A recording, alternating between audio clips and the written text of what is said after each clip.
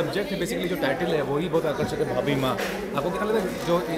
जज्बात हैं, खासकर जो इंडियंस मेंटलिटी होती है, जो काफ़ी जज्बाती होते हैं, कितना कनेक्ट करेंगे सब्जेक्ट से?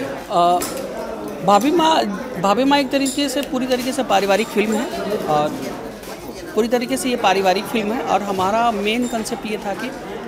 इस मूवी के ज़रिए जो रिश्तों की मधुरता है ना, वो लोगों के बीच लेके आए जो मुझे लगता है कि कहीं ना कहीं कुछ समय से ये विलुप्त सा हो गया था। Right. और ऐसा नहीं है कि हम जिस कल्चर से आ रहे हैं वहाँ पे भाभी भाभी की माँ के बाद का दर्जा भाभी का आता है और यही चीज़ हम दिखाने की कोशिश करें बाकी आप मूवी में देखेंगे। पर निर्माता के तौर पे जो